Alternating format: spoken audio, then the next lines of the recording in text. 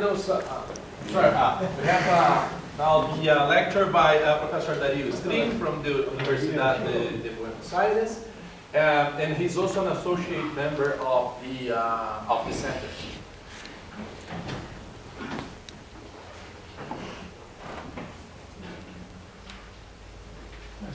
Sí. Okay, so I'm going to review a little bit of things that were already discussed, but I think it's good sometimes to slow down a little bit and to review some uh, important ideas. Uh, so I'm going to talk about QMMM. I'm going to talk about something about the basics of QMMM. Uh, and I'm going to talk a little bit about some applications of QMMM to spectroscopy and to reactivity. Uh, so to begin with,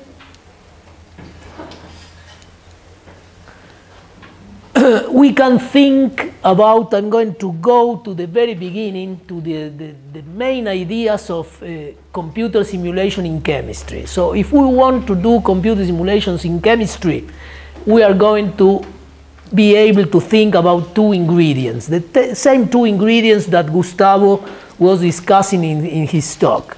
The first ing ingredient is to define very carefully the, the, the, energy, the potential energy surface that we are going to use. And we can talk about the model, the model chemistry we are using.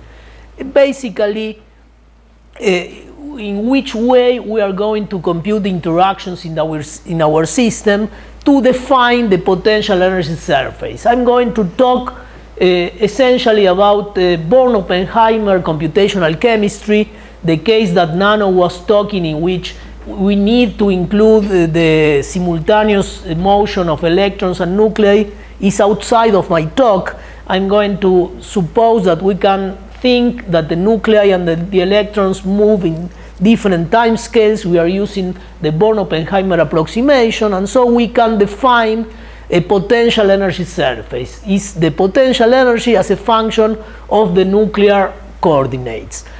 Uh, for doing this, we have many possibilities, in principle, possibilities based on quantum mechanics, possibilities uh, based on classical potentials, and in principle, if we are smart enough to define in a clever way this potential energy surface, we can obtain all the significant information that we need to obtain. Thermodynamical information, kinetical information, spectroscopic information. We can be able to obtain everything about our system. Uh, all the information is implicitly contained in this potential energy surface. But once we have defined the model, we know which kind of model we want to use or we are able to use.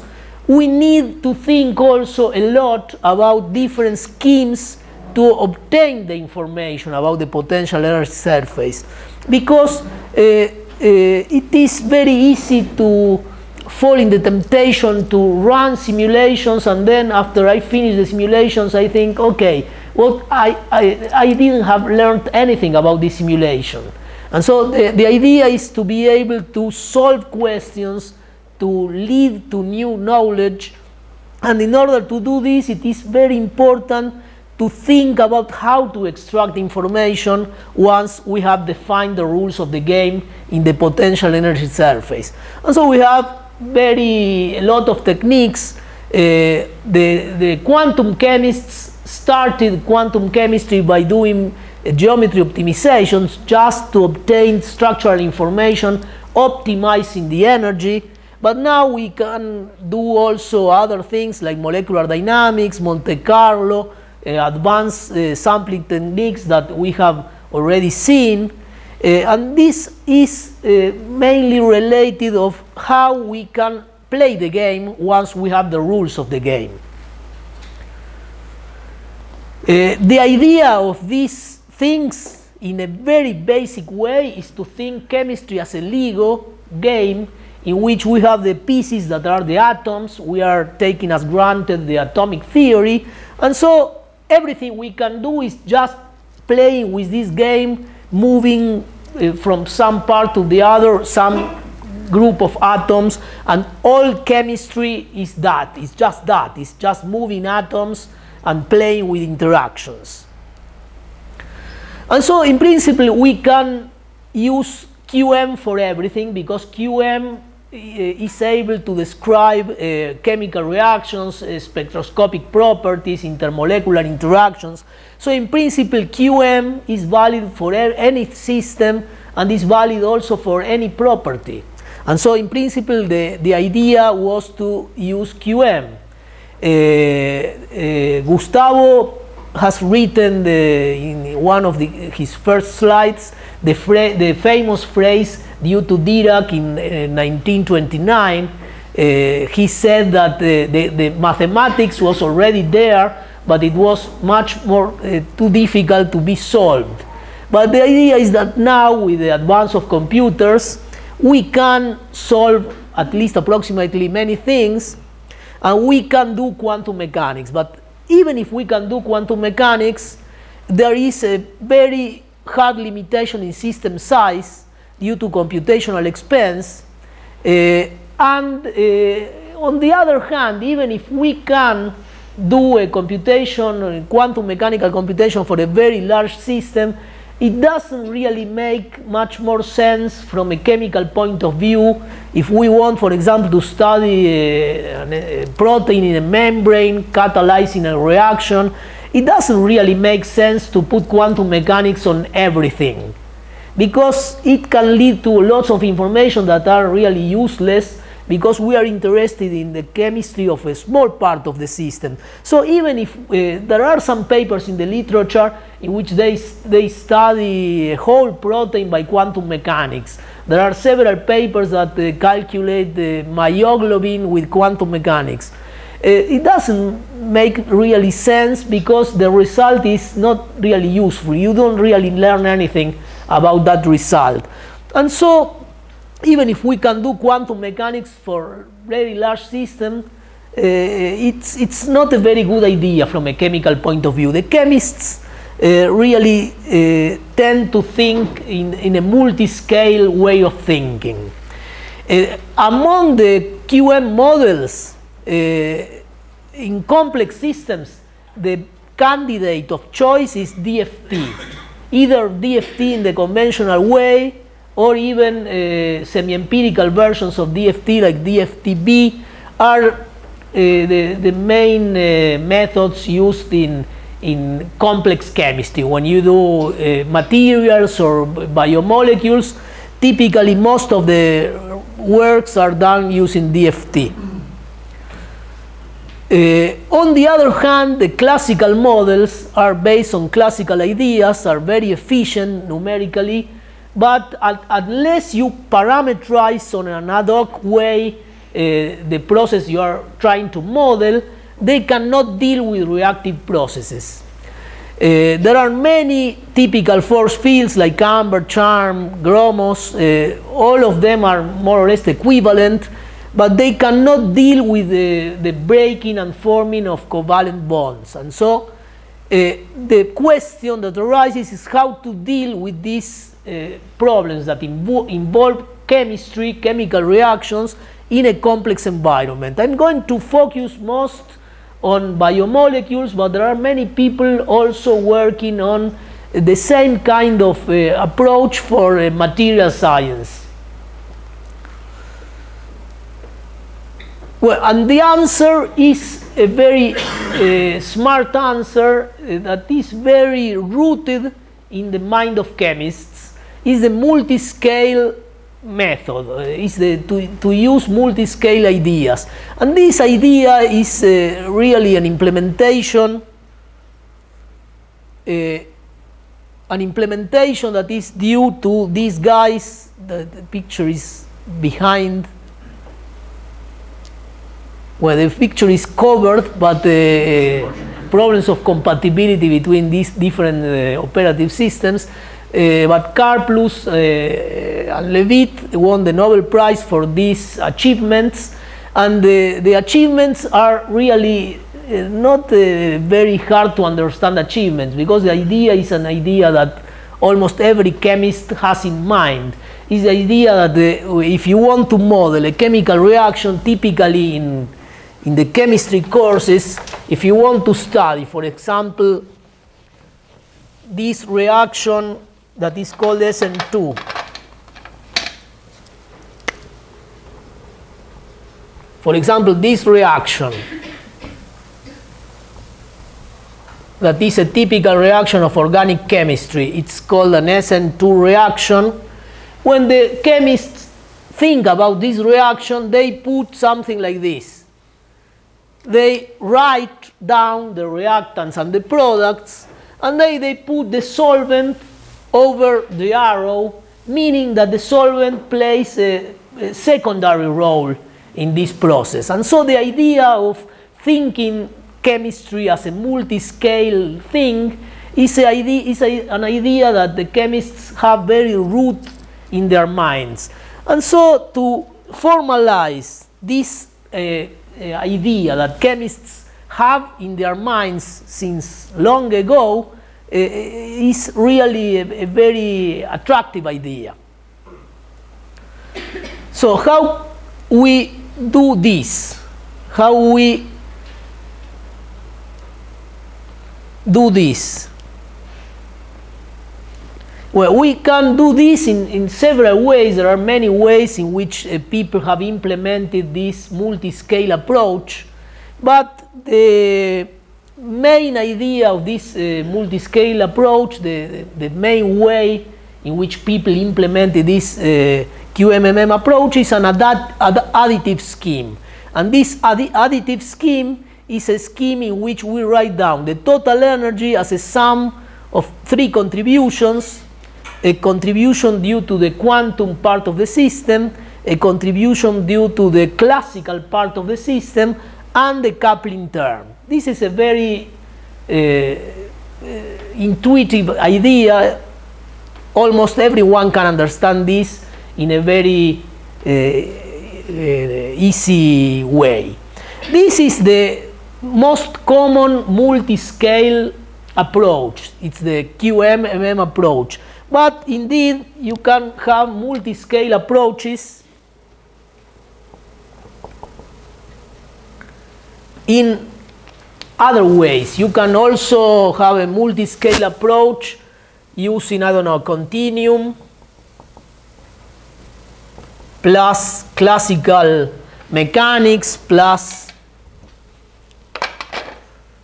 plus QM or you, have, you can have also uh, multi-scale approaches combining the descriptions of coarse grains as, uh, the, as the ones that Sergio was talking about, plus an atomistic uh, approach, plus a QM.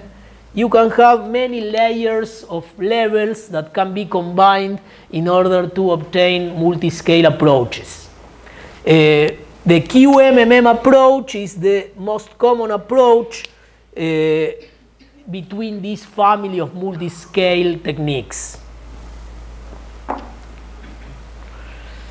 Well, we are going to restrict ourselves to Born-Oppenheimer uh, idea. The Born-Oppenheimer idea is that you can uh, split the atomic motion from the electronic motion and we can say that we can solve the electronic problem in the field generated by nuclei that are fixed.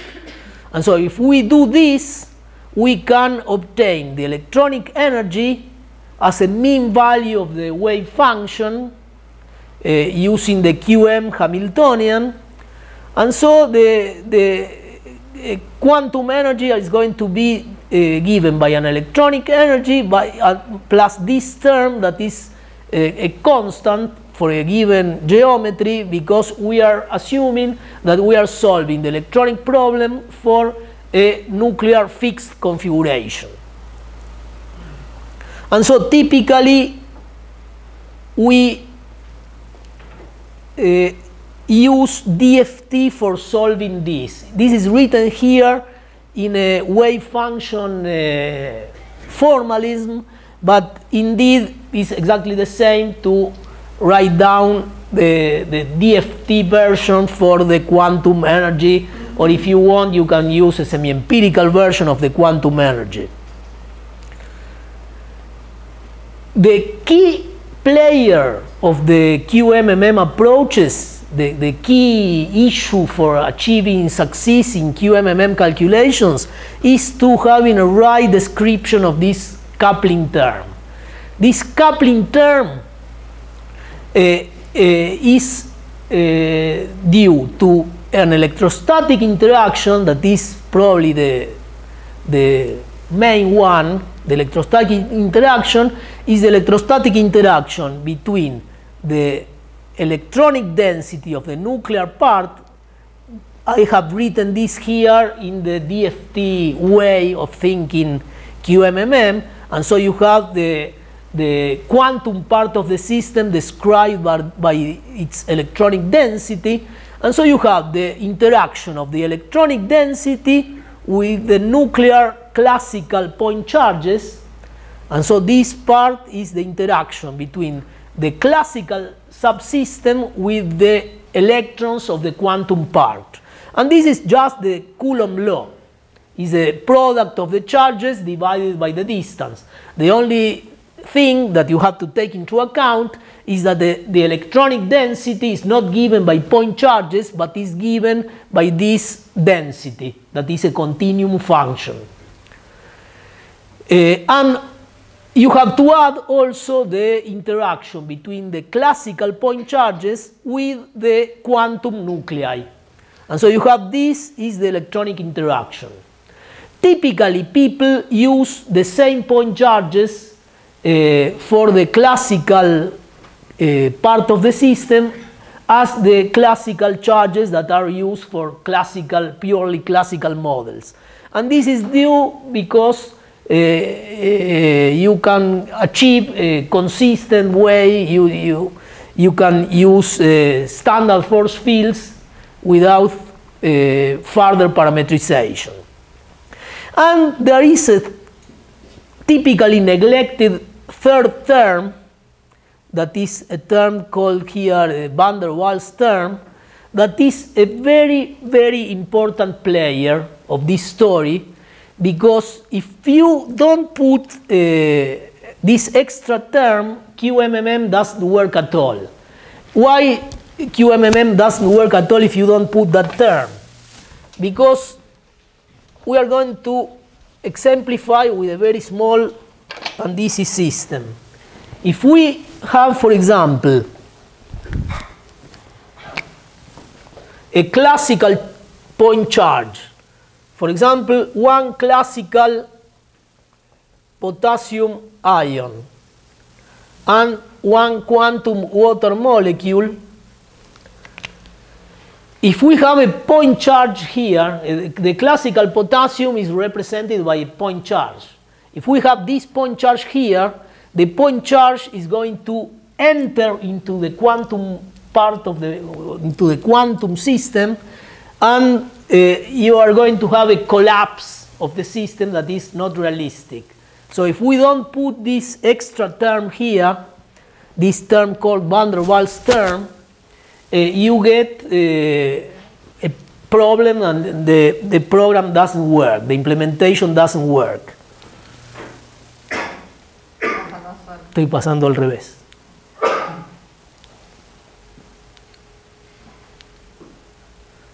And so well, this term uh, that is typically called van der Waals, the name van der Waals is the name that people give to it in the literature, but indeed it is van der Waals. Van der Waals refers to the dispersion interaction that you can have when these things are very far apart. Is the typical van der Waals interaction due to induced dipoles. But on the other hand, that is not the main player. The van der Waals is the long distance dispersion interaction, but you have also a very important short time, short range repulsion. So this term that is uh, here accounts for both effects.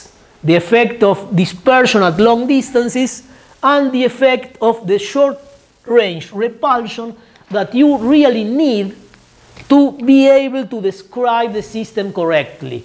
So you need a short range repulsion in order to be able to describe these kind of complexes in the right way. If you don't put the correct short range repulsion, the system collapses and it doesn't work. And this is a very important problem. Particularly people who, uh, working with uh, plane waves programs, the people, for example, that work with the plane wave implementation of QMMM, for example, with the Car-Parrinello code, they have this problem is, is really very, very important because the wave function is written down in terms of plane waves. And so the plane waves can spill out and you have a lot of technical problems if you are not very careful with this short range repulsion. These two things are typically modeled with Lennard-Jones potentials. Because if you have Lennard-Jones potentials, you have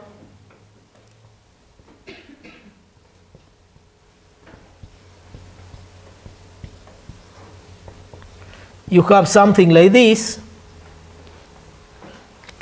And with the Lennard-Jones, you have the attractive dispersion contribution and you model the repulsion with this R to the minus, uh, 12 term.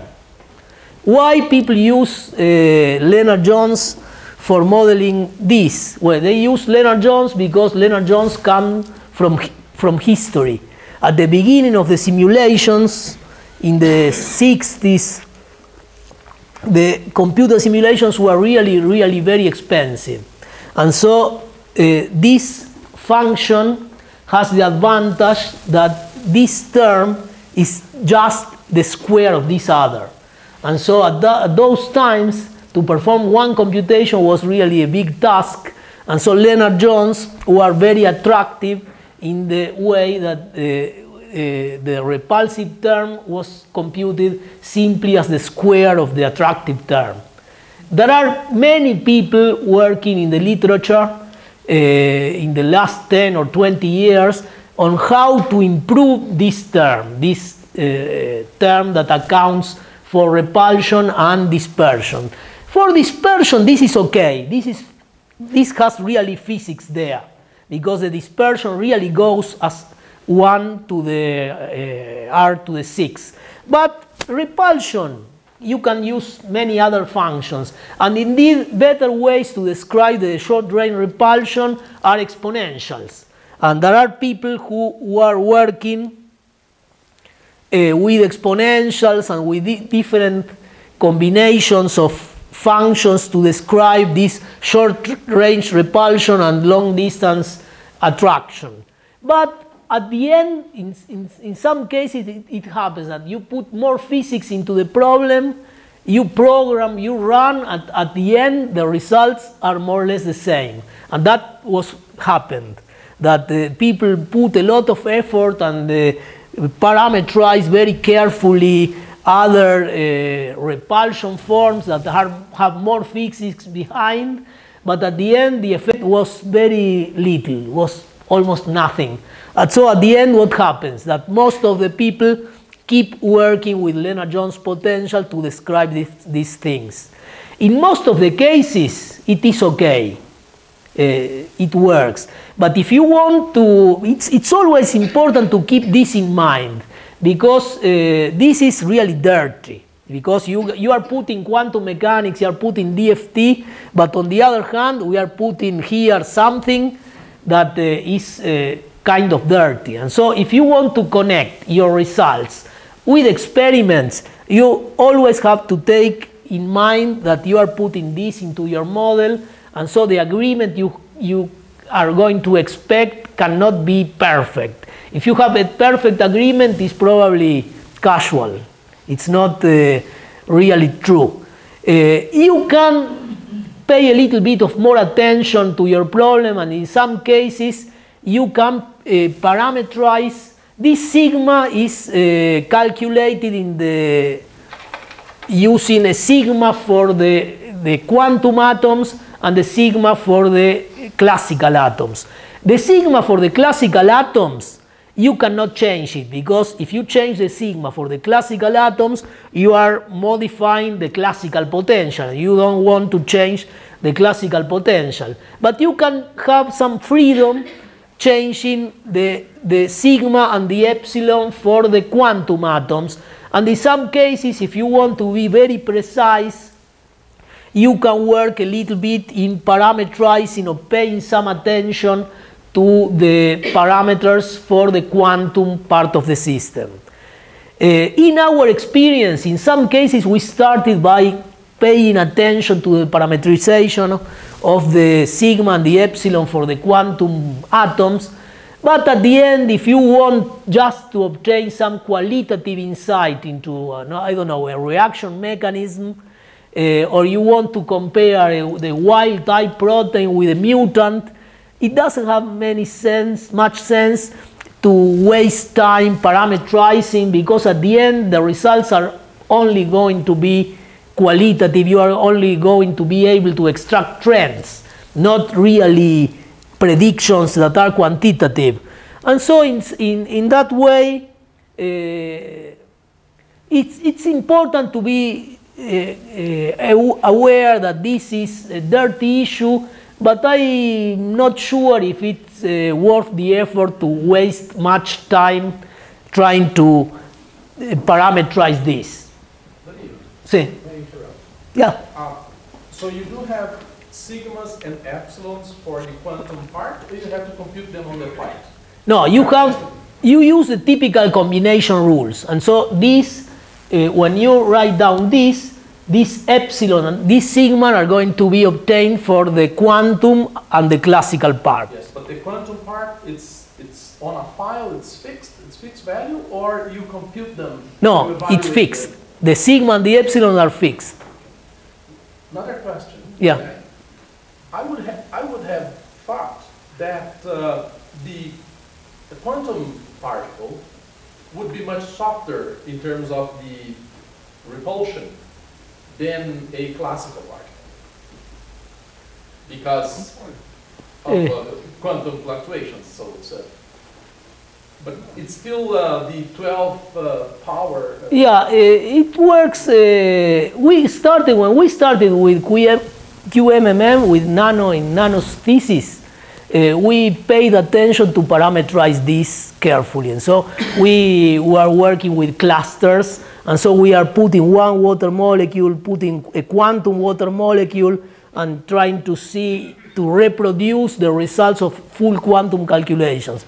But when we started to work with proteins, we stopped paying attention. We just use the standard Amber parameters, and the, the results are okay.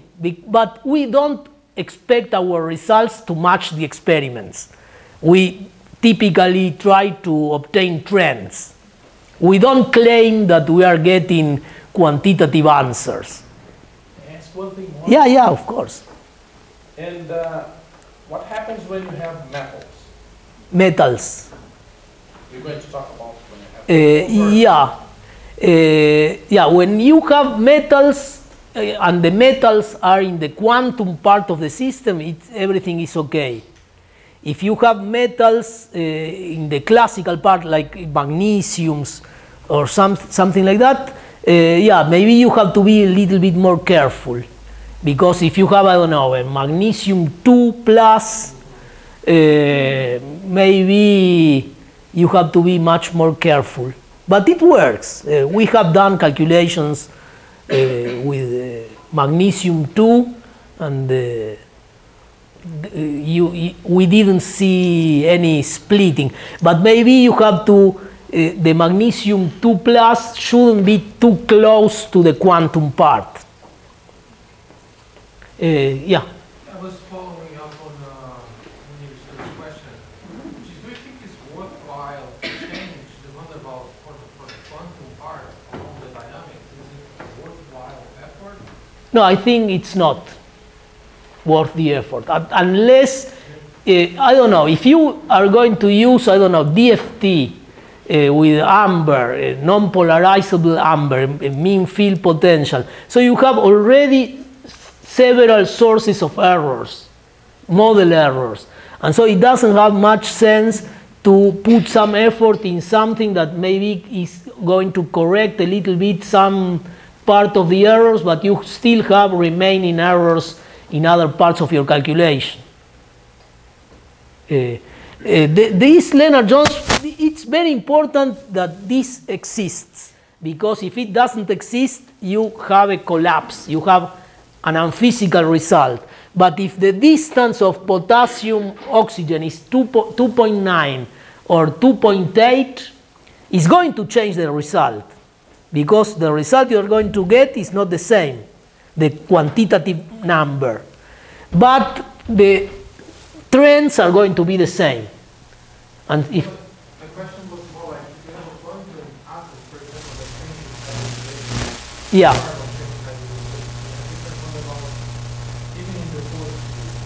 yeah, that, yeah, that's true. Yeah, yeah. But we don't change, uh, in our simulation, we don't change the parameters of the quantum path. We could do that. In principle, that's not so difficult to do because maybe we can uh, uh, change, but the problem is that you, you, if you do that, at some point of the calculation, you should have some uh, continuous match, yeah. You cannot change the parameters, I don't know, in, in one point because you have a discontinuity in the energy. We haven't do, done that. One, one thing, uh, a, a worst problem is that the hydrogen, that i- there is no, have no, no, no van der Waals parameters very very much. And when, when you have a quantum hydrogen, uh, in some case you have to put, put it, uh, some van der Waals parameters I because mean, this, they leave the quantum system if you don't. yeah, that's, that's very important. So in, in- in some cases you have to put, to, to, to touch the van der Waals but, but it's, it's not a rule, it's just an exception. Another question?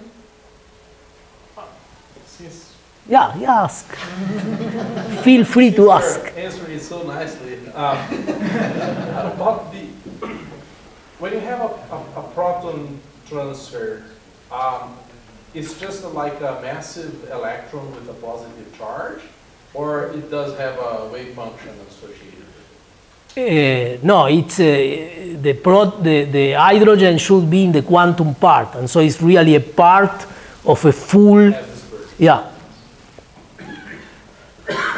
Okay, so what have we done with this QMMM approach?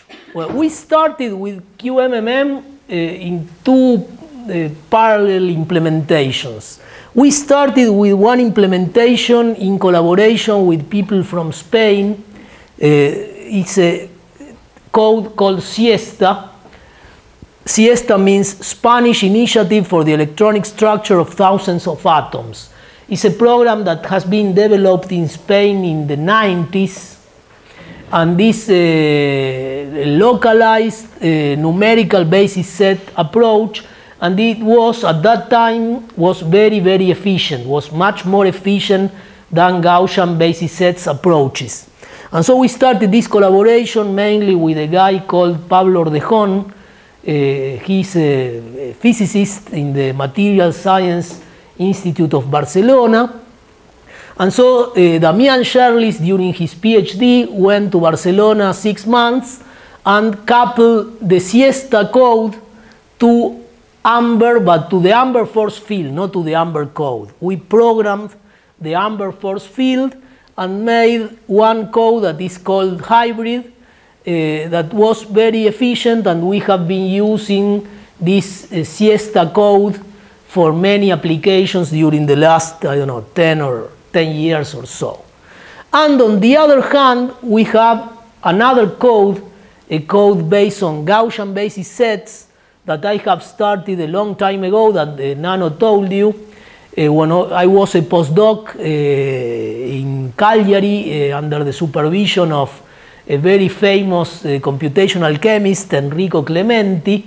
And when I, when I arrived to that postdoc in Cagliari, uh, Clementi was a very busy guy, and so he came to my office and he told me, I think you should work on DFT because DFT is, is very important. And that was the only interaction I had with him.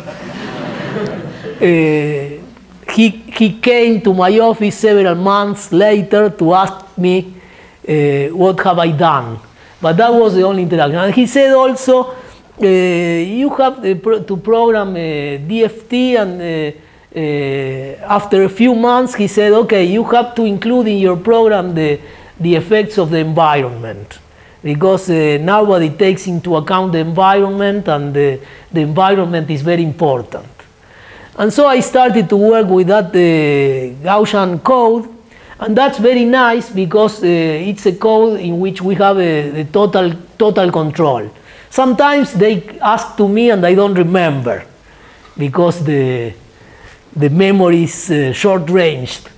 But uh, we have a total control of that code. The, code was totally developed by us. And then uh, Damian was working, Damian Scherlis was working the code, Nano was working in the code, and then now I don't have any control anymore because most of the code is programmed in CUDA and in other things that I don't have any idea. Uh, but this code now, with the Nano's contributions to, to port the code to, to be run in GPUs, is now much more efficient than the other one and so now we are trying to put much of, of our efforts in this code because uh, we have more control on the code and on the other hand, uh, is more efficient computationally. What, do you mean by Gaussian there? Gaussian basis functions. Gaussian, okay. Yeah, it's the typical. To do with Gaussian. No, no, no, no, no. No, it's simply that we use the same kind of uh, way uh, expansions that uh, most of the people in the quantum chemistry community use. But it's a program completely from scratch. What does Siesta use? Siesta uses numerical basis sets.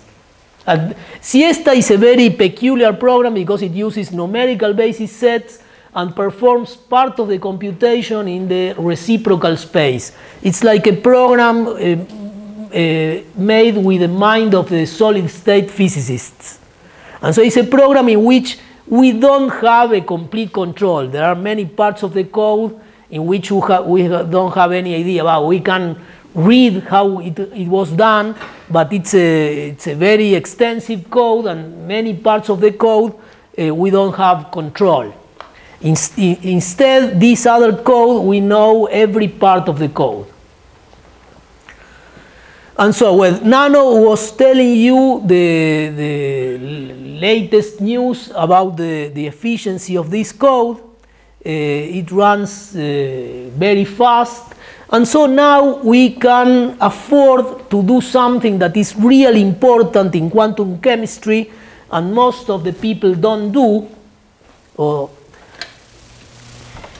is to take into account something that uh, Gustavo was telling you about.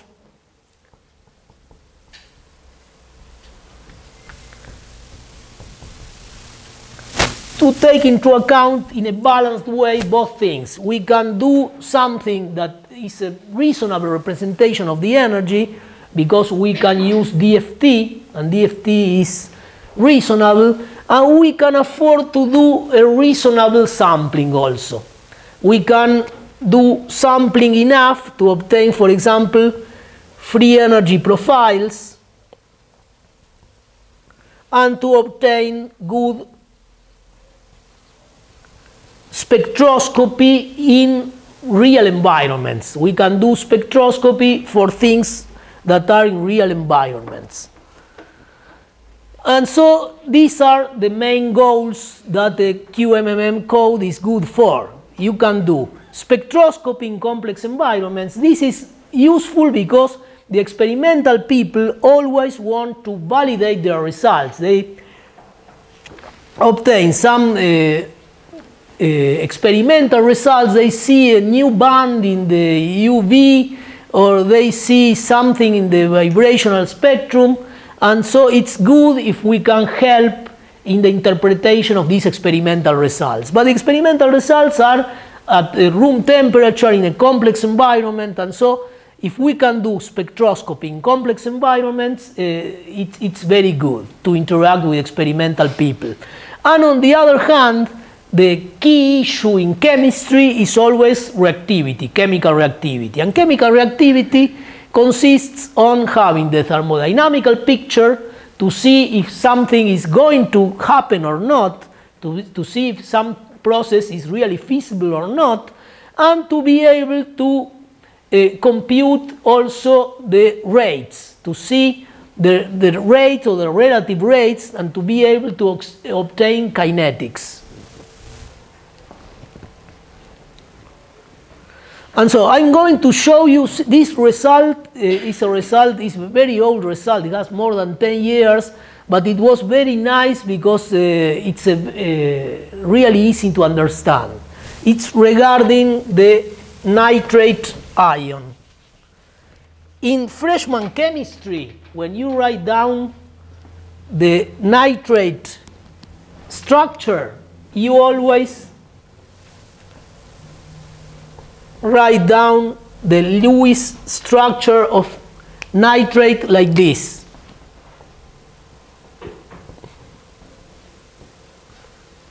This is the Lewis structure of the nitrate ion and we are using the notation that this is a pair of electrons. This is an isolated nitrate. With this way, we have a one bond that is double and two bonds that are single. But we teach the students in the freshman chemistry course that you have resonance structures and so that indeed the real structure is a superposition of three different resonant structures and indeed that the three bonds are equivalent when you have a nitrate that is isolated. But the thing is that in solution, this is not true. The three bonds are not equivalent, and the non-equivalency of the three bonds in solution is due to the fact that uh, the time scale of solvation, the formation and breaking of hydrogen bonds, has the property that makes this nitrate ion uh, asymmetric in, in, in aqueous solution. So uh, this Hydrogen bonds have a lifetime of one picosecond, two picoseconds.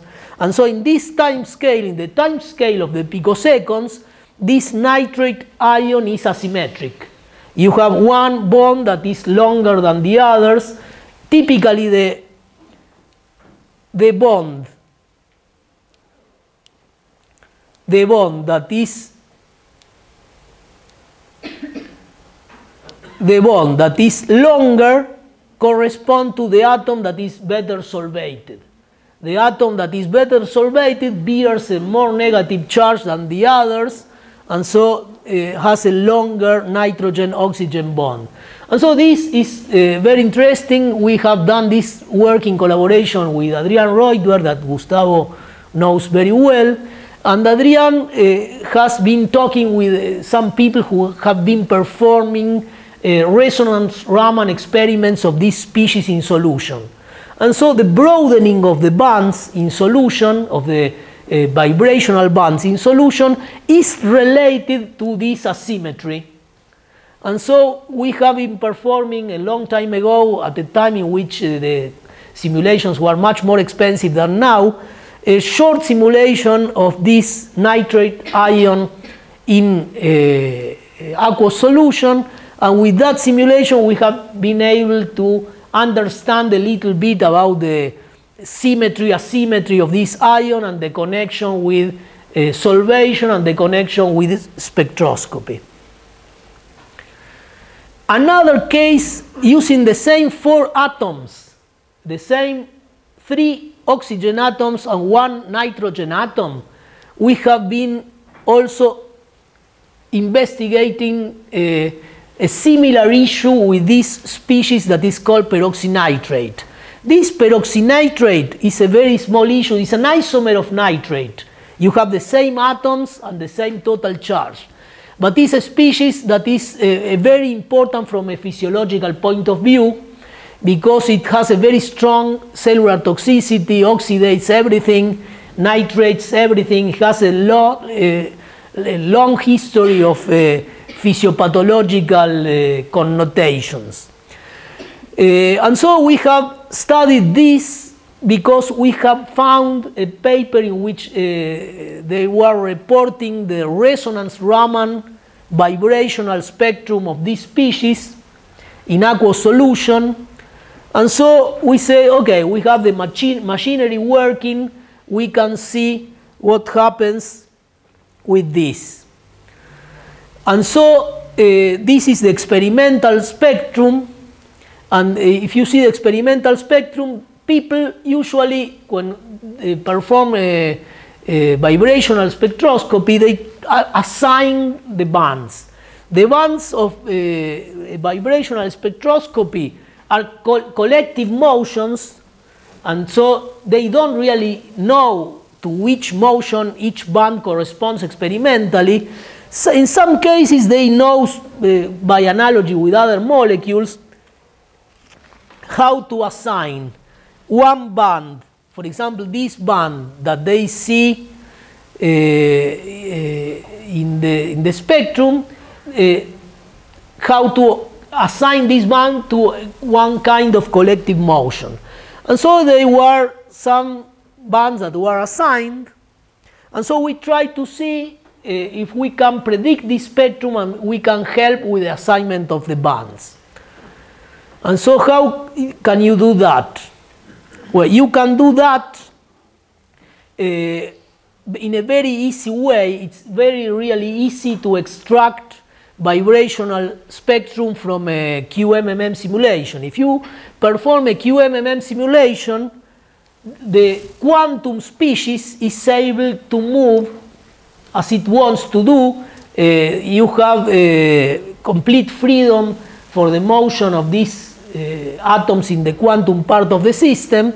And so if you simply, simply let the system evolve in time, if you let the system evolve in time for a relatively long time compared to the vibrational motions, you sample in your molecular dynamic simulations enough vibrations of all the possible motions of the atoms in the molecule in order to extract from that simulation the vibrational frequencies. And so in order to do that, one way to do that is to compute the velocity autocorrelation function for each atom. And once you have performed the velocity autocorrelation function for each atom, you can extract the frequencies by uh, performing the Fourier transform. You can do that for the velocity of each atom you can transform, if you want, Nano uh, was suggesting an alternative method when we have performed this, this work, was to transform these motions to harmonic modes motions. It's like a change of basis, but indeed it's not really necessary. We can just work with the velocity of each atom of the system and compute this velocity autocorrelation function at the Fourier transform of the velocity autocorrelation function yields the vibrational frequencies. And uh, not only that you obtain the vibrational frequencies, that, uh, but you can also obtain the assignment from the simulation. And in this way, you can obtain the vibrational frequencies. If you are interested in the infrared spectrum, you can do exactly the same, but instead of calculating the velocity autocorrelation function, you can calculate the dipole moment autocorrelation function. If you use the dipole moment autocorrelation function, you obtain directly the infrared spectrum because the infrared spectrum is directly related to this uh, dipole moment. If you want to do Raman or resonance Raman, uh, it's much more difficult for Raman, there are some ways of compute the intensities, but for resonance Raman, that is a very extended technique uh, nowadays for vibrational spectroscopy, uh, uh, it's not easy to obtain the vibrational the intensities. And so, well, what have you done with this? See. You can compute the polarizability tensor instantaneously on from You can, yeah. It's it's uh, Expensive. it's expensive, but you can do it. For for uh, as uh, Munir says, for normal Raman, not resonance Raman, just plain Raman, you can com- compute at each snapshot of the simulation. You can compute the the, the, pol- the polarizability tensor, and so for uh, Raman, it's it's. Uh, it, it is direct uh, to compute the intensity it is expensive because to compute the polarizability takes some time but for resonance raman is something that we have in mind we we want to see if with the, the real-time dft we can extract the resonance raman intensities. May I ask one more question? yeah. In your expression, your Fourier transform, yeah. Uh, you are transfor- you you built a classical correlation function out of the velocities that were computed from a quantum trajectory, yeah. Right? However, the expression involves not the classical time correlation function, but the, there's also involved the time reversal of that. And, and so some factors appear from detailed balance appears in front of the Fourier transform. And that, those types of quantum corrections affects the spectrum of high frequencies. Uh, yeah but indeed the the nuclei are classical The nuclei are classical. the nuclei are the nuclei are classical and Born-Oppenheimer. So the quant the only quantum things are the electrons. I know, I know, but we can talk about this. Okay. I mean, I mean, the, the expression Yeah. itself that you use in the Fourier transform, there is a term in front of it. Okay. That comes from detailed balance, that introduce very important corrections in the high frequency part of the spectrum. Okay. No, we have not taken that into account. It we just compute just the the the standard without any correction.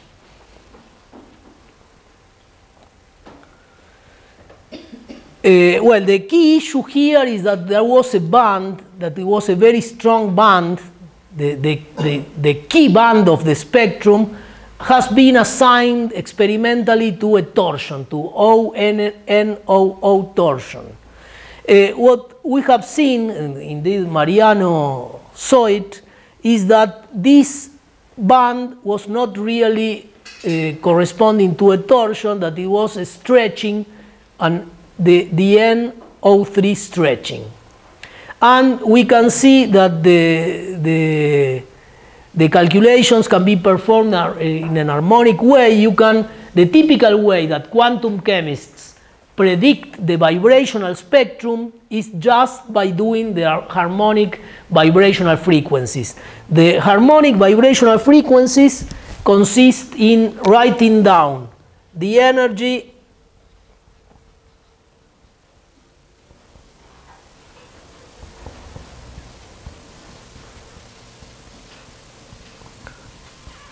writing down this expansion, a Taylor expansion of the energy up to second order. The, well, the, the zero order is the, the energy at the minimum. The first order term does not appear because you, we are at the minimum, and so the first deri- derivatives are all zero. And the second derivatives are called the Hessian matrix elements, are computed, and so you, if you diagonalize this matrix, the matrix of second derivatives, you obtain the harmonic vibrational frequencies. And this is very standard uh, proced- procedure in quantum chemistry. All quantum chemists uh, buy the Gaussian code and perform a, a harmonic calculation for obtaining the for obtaining the harmonic frequencies. And so the harmonic frequencies, what we saw is that the harmonic frequencies changed a lot with the uh, method. For example, DFT predicted some, some values that uh, were really close to the high quality ab initio methods, and Hartree-Fock was very bad. And uh, we see here that the, the result of the isolated harmonic uh, for this problematic band was 522. And if we perform a, a, a molecular dynamic simulation that we extract the frequency, the frequency that we extract from a molecular dynamic simulation takes into account the fact that the vibration is not harmonic. And so this would be the vibrational frequency, real vibrational frequency at this level of theory uh, corresponding to this band is 462.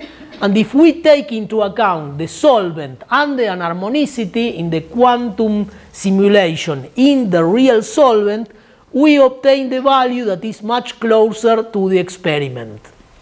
And so we see that the harmonic approximation uh, gives you an error, the solvent produces a shift, and this value is not so bad, the value, the harmonic value, but indeed the value uh, obtained at the harmonic level uh, has some compensation of errors because you have some error for taking in, not taking into account the anharmonicity and some error for not taking into account the solvent.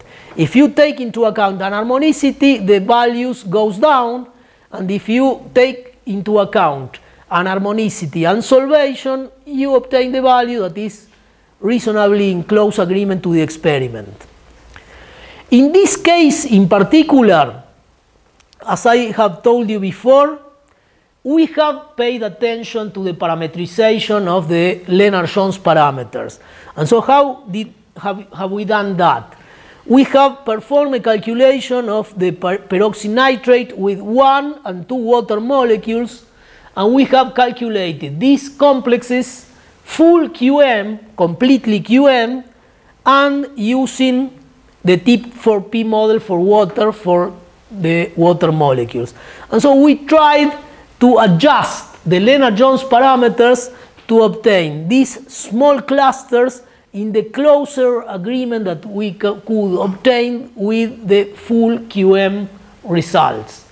So in this case in particularly, we have paid attention for the, the Lennard-Jones parameters, but for more complicated problems, we haven't done that.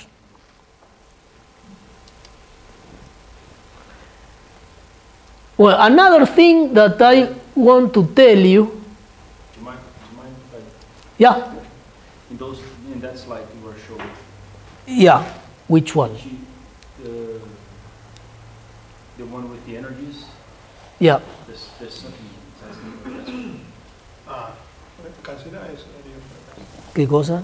Ah, Está pidiendo un pago por por eso se puso, ahí está. Sí, Yeah, this one. Uh, Did you use any uh, energy shift to compare? Because the, the the energy of the QM part is pretty different than the energy of the MM part. And when you have the tip. Ah, yeah, yeah. No, no, we are just trying to adjust the interaction energy. We are adjusting the, the, the interaction energy. Yeah, but I mean, uh, uh, the energy of a QM water is different than the energy of an MM water. Yeah, So did you shift the QM water uh, or- to? yeah, it, in some way, yes. Uh, what we have done is we have computed the water peroxynitrate interaction energy uh, at both levels of theory. And so we have tried to adjust the interaction energies.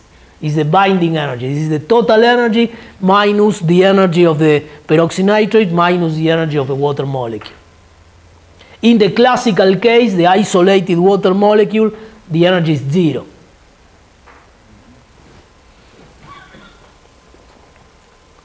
Well, the last thing I'm going to tell you about is that when you do QMMM,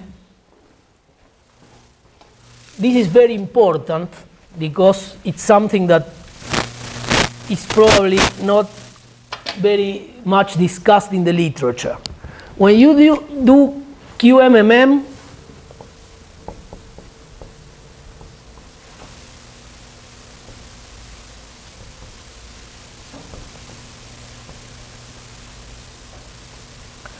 you have typically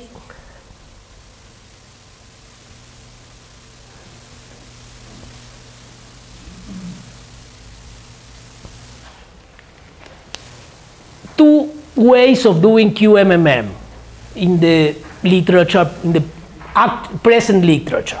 One way to do uh, QMMM, that is the way that is done, I don't know, 99% of the literature, is called electrostatic embedding. The electrostatic embedding is a way in which is the way I showed you before the equations. Uh, the QM part of the system feels and adapts to the classical environment. I'm going to put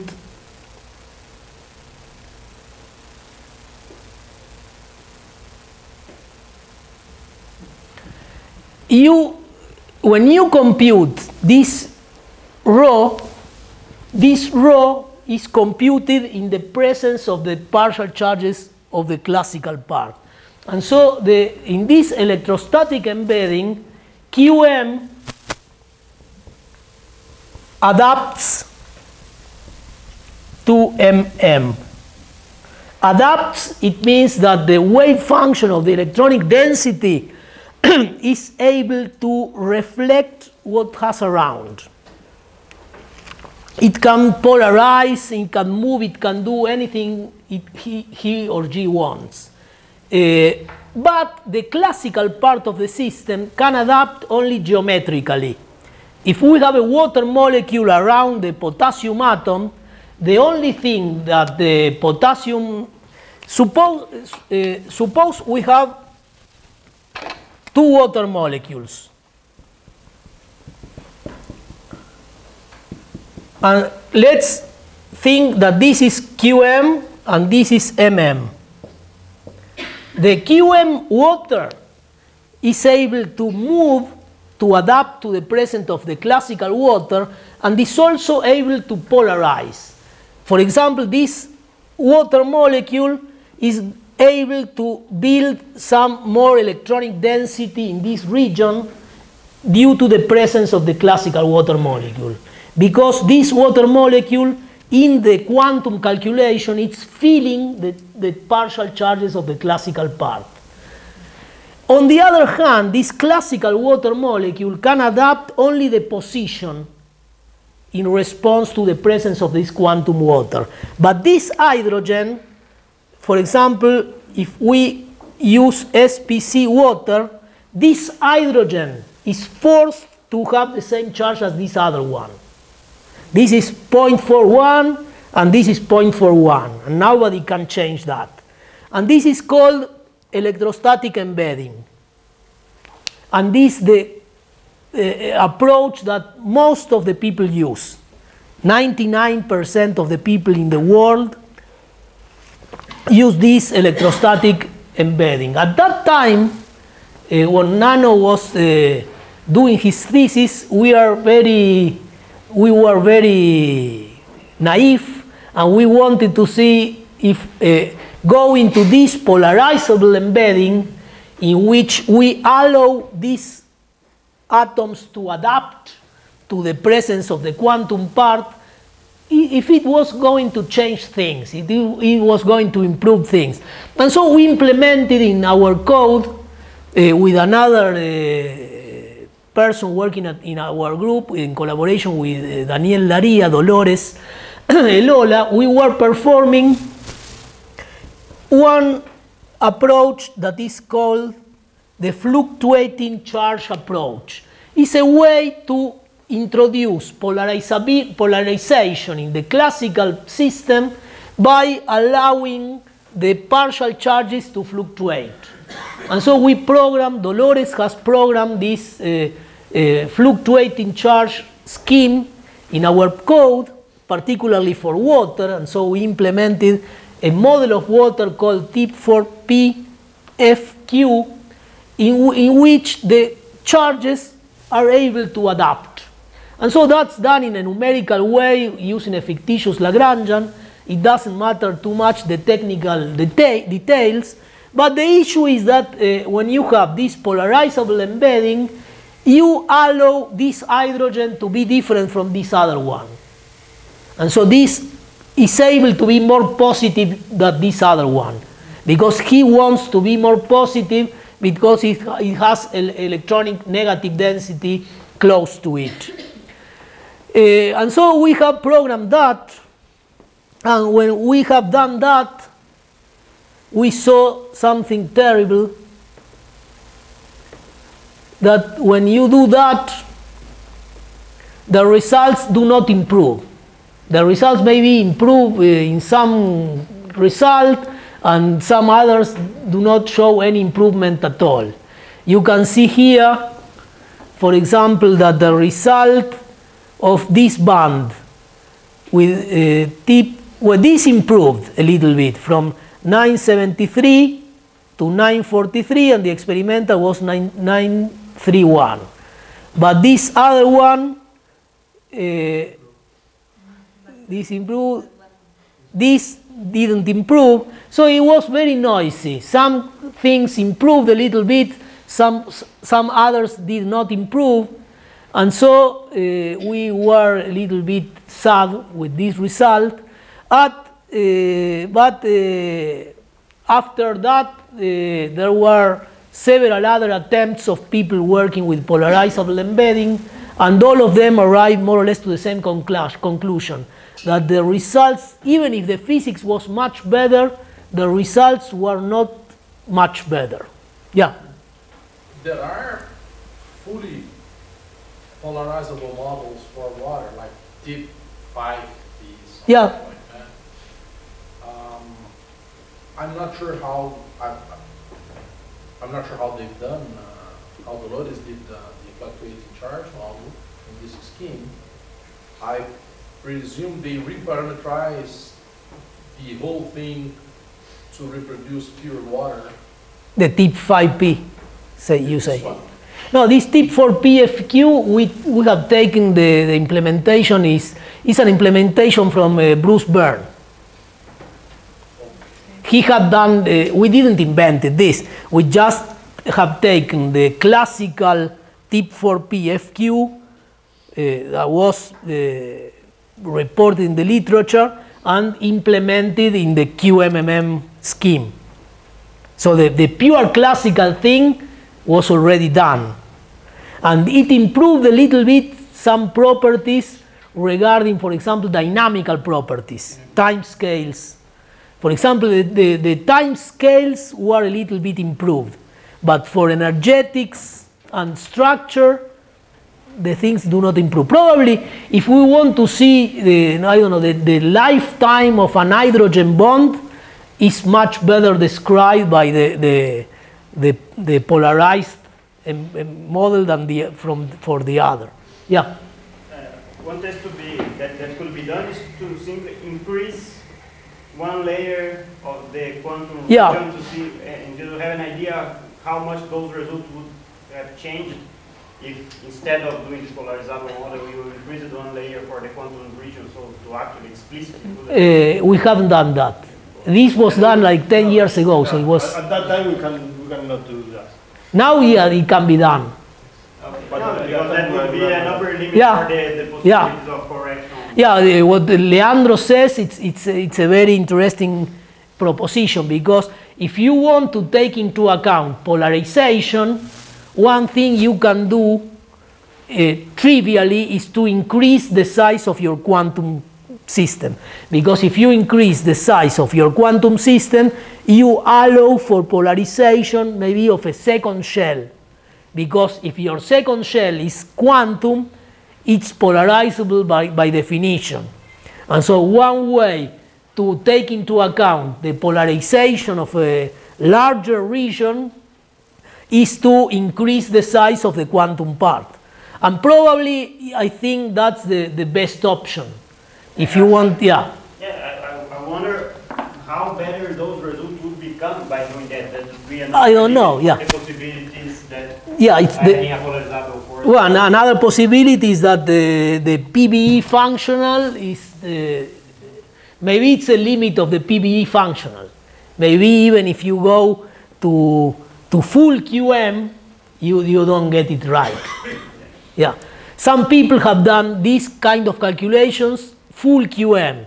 For example, the people working uh, with the, the Car-Parrinello code can do the calculation full QM, and they don't, even with full QM, they don't get the quantitatively right answer. May I ask one question? Yeah, This is for a cluster, right? yeah. Small cluster. Not so small. How, how many water molecules?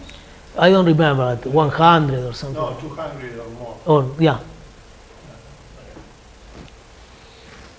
It's before the periodicity Yeah. in the code. Well, one thing that you can obtain uh, with your simulation is that you can obtain insight about the one thing that uh, when we interact with experimental people, the experimental people always want to get some microscopic insight into the results. So to obtain the vibrational frequency is nice. To obtain the number is okay, but the number is, doesn't say much. What says a lot is to try to understand the reasons of the number, why a band is broader than, than other band, uh, and that can be understood in terms of solvation. If you, you watch the snapshots and you see the solvation, you can see that the variability in solvation patterns is what causes that the bands are broad. It's, uh, it seems trivial because, uh, I don't know, it's something that we teach in the physical chemistry courses, but uh, it's very nice to see that, uh, uh, that it happens, that the, the variability in the solvation patterns may allow you to explain the variability of the, re- the results. Well, with this, uh, I'm going to review a little bit what, what I have been talking about.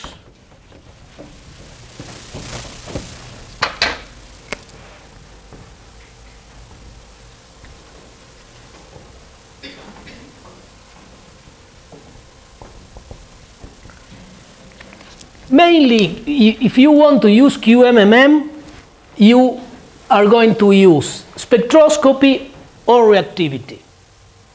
And so we have been talking a little bit about spectroscopy. This morning I have been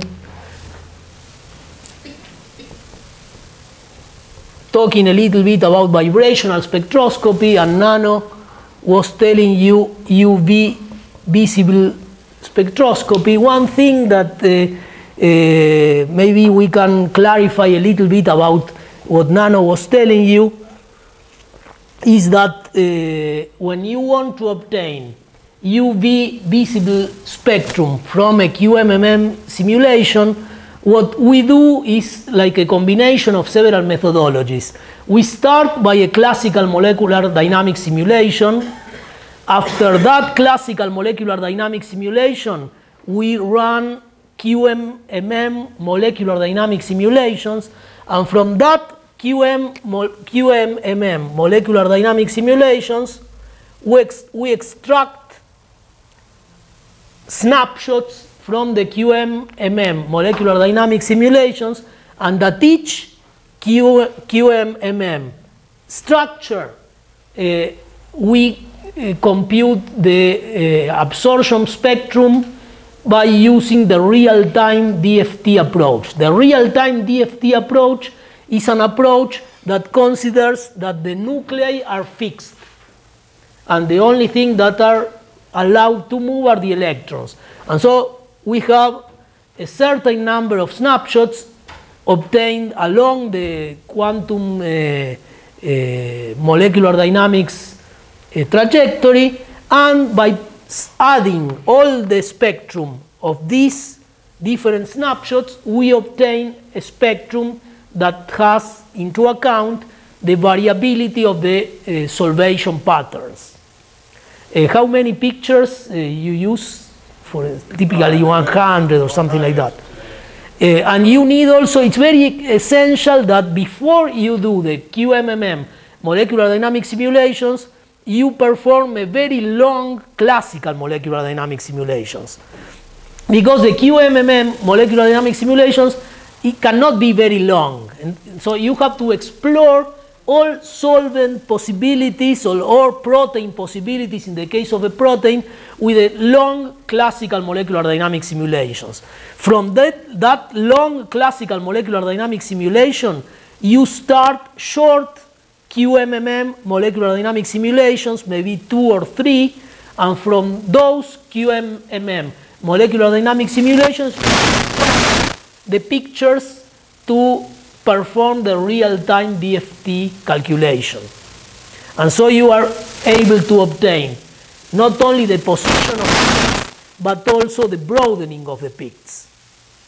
Uh, on the other hand, to perform the computational spectrum calculation is much easier because you need just one QMMM trajectory. But of course, if the system is very complex, you always have to resort to classical molecular dynamics before. You cannot do QMMM calculations without having performed first classical molecular dynamic simulations. It's like a, a, a rule.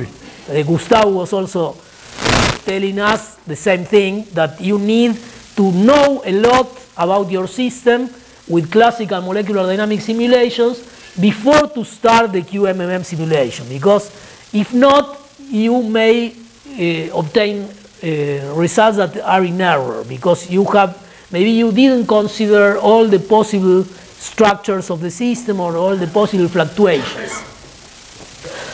Yeah. I just add one comment? Some point in the, in the beginning of the talk, Yeah. you mentioned that if we have the potential energy surface, uh, the hyper, this hyper complex, uh, thing, then we have everything we can. Yeah.